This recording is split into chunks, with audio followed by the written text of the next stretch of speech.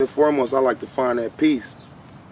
That's when I write a, a lot better, just having that peace and hearing myself think. You know what I mean? And just uh, really, it's a vibe, man. I can't really describe other than the peace part. I wake up, go to my, you know what I'm saying, do my work. And this is like, the, if I find that peace and I get in that zone, I just go. I don't really like to count bars because I'm like limiting myself when I do write. I just like to write. I can dissect the the, the, the bars, you know what I mean? So, and uh, oh, another thing I like to do, I like to listen to some hot shit, whether it's pop shit, however I'm feeling at the time before I actually write, just to get me, you know what I'm saying, worked up and just go, you know what I mean? What's the biggest problem you had to overcome? Um, I had insomnia, man, when I was like 15, bro. And uh, the thing with that is a lot of people thought I got laced. So it was crazy because he showed me who my real homies was. Shout out to my real niggas.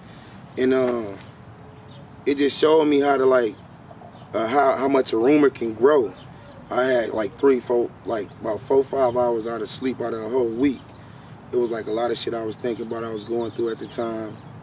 And um, I just, I, I just, it just made me stronger, a lot more wiser, along with listening to myself think. You know what I mean?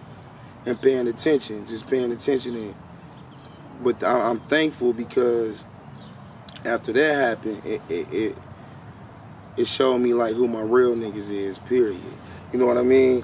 And then the he say she say shit. It was funny. Even when I heard it, I bust out laughing. Cause like when I got back all the way together, the, when I came back around, I even peeped the motherfuckers who would try to play me out like, oh, this motherfucker ain't got it all. You feel me? But I even laugh with them. And I, I even made so much entertainment out the shit that I'ma act like that. If you think I'm fucked up, I'ma play you out. You know what I'm saying? Cause just just cause motherfuckers so simple minded. Instead of actually opening your motherfucking mouth and having the balls to ask me, you good or what happened? You ain't wanna know from me. You are you assume. You know what I mean? So that was one thing, and then after that, bro, another thing is just um, not knowing who to fuck with. Period. I don't care if I grew up with you, you know, not knowing who to fuck with. Cause some people, they they live in the, the um, ain't got nothing to lose type of lifestyle. You know what I'm saying? I cherish things. You know what I mean? So that's just them that part coming uh, overcoming that. That's that's why I, that's what I got out of it. You know what I mean? So what do you go by? Just chops still? It's just, just chops. Just chops. It's been chops. My grandma called me chops. Yeah. You know what I'm saying? I got that name. Up. I got that name from my dog Squeak. Shout out to Hey Loud Squeak. Samuel, y'all know him.